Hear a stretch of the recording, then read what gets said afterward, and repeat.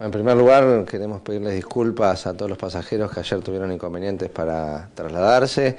Eh, Aerolíneas Argentinas tuvo un inconveniente con el sistema de transmisión de datos que lo presta Telefónica de Argentina. Es un servicio que contratamos especialmente. Se rompió un equipo de Telefónica que por el contrato debía ser mantenido y operado por Telefónica. Nos dejó sin comunicaciones y nos obligó a cancelar un montón de vuelos. La verdad es que Estamos muy, muy preocupados por esa situación, por suerte se solucionó.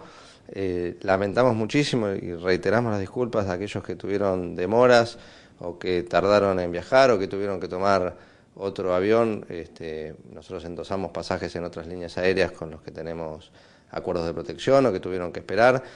Por suerte, eh, los pasajeros que no vivían en Capital, todos fueron ubicados en hoteles, pero estamos muy preocupados porque es una empresa a la que contratamos un servicio muy caro, que es un servicio fundamental para la prestación de un servicio público como el que presta Aerolíneas Argentinas, que ya nos tiene acostumbrados al mal servicio con la telefonía en general y ahora también con el sistema de datos, así que estamos investigando los orígenes de, este, de esta falla y vamos a actuar en consecuencia, a pedir reparaciones y sanciones para la empresa que debió prestar ese servicio y mantener comunicado a, a Aerolíneas Argentinas para poder sacar los vuelos.